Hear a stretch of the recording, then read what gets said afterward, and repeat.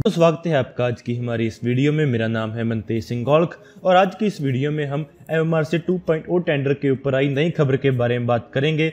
दोस्तों Indian air force के chief ने एक इंटरव्यू में बात करते हुए बताया है कि हमारा देश 114 फाइटर जेट्स डसॉल्ट एविएशन से खरीद सकता है। दोस्तों इंडियन एयरफोर्स के चीफ ने राफेल क्लास के एयरक्राफ्ट के ऊपर हिंट किया है और ऐसा हो सकता है कि 114 फाइटर जेट्स हम डसॉल्ट से खरीदें जो कि राफेल फाइटर जेट्स होंगे। इससे पहले हमारे देश के chief of defence staff general Bipin Rawat का एक ऐसा बयान आया था, जिससे ऐसा लगा था कि हमारा देश M M C two tender को कैंसिल कर सकता है और हमारा देश एलसीए सीरीज़ के एयरक्राफ्ट के ऊपर फोकस करेगा, जिसमें L C Tejas mark two aircraft भी शामिल है। लेकिन अब जो इंडियन एयरफोर्स के चीफ का बयान आया है, उससे जनरल बिपिन रावत की बातों को कॉन्ट्रोडिक्ट कर दिया गया है। इस इंटरव्यू में इंडियन एयरफोर्स के चीफ ने M M R C two point two tender के बारे में बात करते हुए खास तौर पर डिसॉल्ट राफेल एयरक्राफ्ट का नाम दिया था, जिससे ऐसा लगता है कि हमारा देश अभी भी 114 फाइटर जेट्स की डील के लिए डिसॉल्ट राफेल एयरक्राफ्ट कंसिडर कर रहा है और इंडियन एयरफोर्स नहीं चाहती कि डिसॉल्ट राफेल एयरक्राफ्ट की जगह कोई और एयरक्राफ्ट ले। इससे पहले ऐसी खबरें आई थी कि हमारा देश डसॉल्ट राफेल एयरक्राफ्ट को ना खरीद कर L C Tejas mark two aircraft को खरीद सकता है। लेकिन जैसा कि आपको अपने पहले भी बताया है कि तेजस मार्क टू एयरक्राफ्ट अभी पूरी तरह डेवलप नहीं हुआ है। इसे डेवलप होने में बहुत सारे साल लग जाएँगे, लेकिन तब तक हमारे देश के पास कोई भी केपेबल फाइटर जेट नहीं बचेगा। इससे पहले फ्रांस की एयरक्राफ्ट मैन्युफैक्चर कंपनी डसॉल्ट ने अपने जॉइंट वेंचर में पार्टनर रिलायंस के हिस्से को खरीदने की बात की थी। दोस्तों, हमारे देश में डसॉल्ट और रिलायंस ने एक Dassault Reliance aerospace limited the company को शुरू किया था। ये कंपनी राफेल एयरक्राफ्ट को हमारे देश में मैन्युफैक्चर करने वाली थी। लेकिन इस जॉइंट वेंचर में जो रिलायंस का हिस्सा था, उसे भी डिसॉल्ट एरोस्पेस खरीदना चाहती है, ताकि इस कंपनी की 100 परसेंट ओनरशिप डिसॉल्ट के पास चली जाए। ऐसा लग रहा था कि डिसॉल्ट हमारे देश में राफेल फाइटर जेट को मैन्युफैक्चर करने के लिए पूरी तैयारियाँ कर रही थी। लेकिन बाद में चाइनीज़ वायरस के आ जाने के बाद ये ऐसा नहीं हो सका। इंडियन एयरफोर्स के चीफ के इस बयान से अब ऐसा लग रहा है कि हमारा देश डिसॉल्ट राफेल की परचेज को लेकर आगे बढ़ेगा और हमारा देश एम एम टू टेंडर को लेकर भी आगे बढ़ेगा। इसके साथ ही इंडियन फोर्स के चीफ का कहना है कि हमारा देश अगले कुछ सालों में 450 यानी कि 450 फाइटर एयरक्राफ्ट खरीदेगा। अगले 15 सालों में हम 83 एल से तेजस मार्क वन एयरक्राफ्ट खरीदेंगे, जो कि इंडियन एयरफोर्स का प्राइमरी फोकस होगा। इसके बाद हमारा देश L C mark two aircraft के ऊपर फोकस करेगा, जिसके हम तकरीबन 100 एयरक्राफ्ट खरीदेंगे। इस एयरक्राफ्ट को मीडियम वेट फाइटर जेट का भी नाम दिया गया है, जो L C Tejas mark one aircraft का इम्प्रूव्ड और ज़्यादा पावरफुल वेरियंट होगा। इन दोनों एयरक्राफ्ट किया जाने के साथ हमारे देश के पास एल सीरीज़ के 200 से ज़्यादा एयरक्राफ्ट हो जाएँगे। इसके बाद एम की हम सिक्स क्वार्टर्स को बिल्ड करने का प्लान कर रहे हैं, जिसमें हम एम के तकरीबन 100 एयरक्राफ्ट खरीदेंगे। यहाँ पर बात करते हुए इंडियन एयरफोर्स के चीफ का कहना है कि हमारा देश अगले कुछ सालों में अपनी पूरी रिक्वायरमेंट्स इंडियन इक्विपमेंट से ही पूरा करेगा। इसके साथ ही इंडियन एयरफोर्स के चीफ का कहना है कि हम ट्रेनर एयरक्राफ्ट सेगमेंट में भी 70 H T T forty aircraft खरीदने वाले हैं। ये एयरक्राफ्ट इंडियन एयरफोर्स की प्लाटस ट्रेनर फ्लीट को सप्लीमेंट करेंगे। इन सभी एयरक्राफ्ट के साथ हमारा देश अगले कुछ सालों में तकरीबन 450 एयरक्राफ्ट खरीदेगा।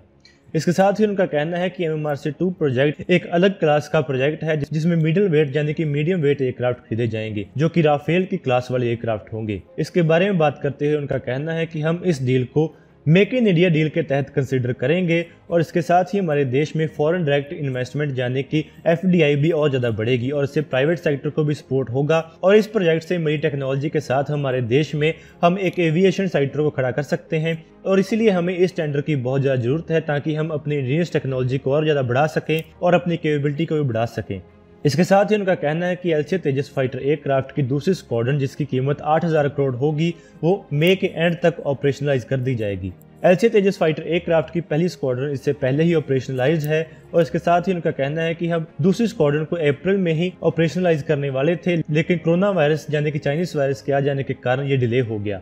एच में भी बहुत सारा काम रुक गया था, लेकिन अभी उसे फिर से शुरू कर दिया गया है। इसके साथ ही उनका कहना है कि हम 83 three LCM mark one one aircraft की डील को लेकर आगे बढ़ रहे हैं और ये हमारा इमीडिएट फोकस एरिया है। और हम अगले क्वार्टर में इस डील को साइन कर लेंगे। उनका कहना है कि इसकी निगोशिएशंस पूरी तरह कंप्लीट हो गई हैं और अब इसके ऊपर फाइनल मोहर यानी कि final signature ministry of defence द्वारा किया जाएगा जो कि अगले एक महीने में हो सकता है। ये डील 39,000 करोड़ की होगी। इसके साथ ही इंडियन एयरफोर्स के चीफ का कहना है कि हम Astra beyond vision range weapons को भी ऑर्डर कर रहे हैं और इसका ऑर्डर भी अगले कुछ महीनों में साइन कर दिया जाएगा। इसके साथ ही हमारा देश long range precision guided ammunition को भी ऑर्डर करने वाला है। इसके साथ ही अब ऐसी खबर आई है कि इंडियन एयरफोर्स आत्मनिर्भर बनने के लिए तीन मेजर एक्विजिशन प्रोजेक्ट्स को कैंसिल करने वाली है, जिनकी कीमत 8000 करोड़ की होने वाली थी। इन तीन मेन एक्विजिशन प्रोजेक्ट्स में हमारा देश 38 पिलाटस बेसिक ट्रेनर स्विट्जरलैंड से खरीदने वाला था और 20 एडिशनल हॉक प्लेन्स ब्रिटेन से खरीदने वाला था और तकरीबन 80 जैगवार फाइटर प्लेन्स को अमेरिका से लिए जाने वाले इंजन के साथ अपग्रेड करने वाला था। अब Indian air force chief R K S Bhadauria ने ए के साथ इंटरव्यू में बताया है कि हम एडिशनल पिलाटस बेसिक ट्रेनर नहीं खरीदने वाले हैं और हम एडिशनल हॉक ट्रेनर को भी नहीं खरीदेंगे।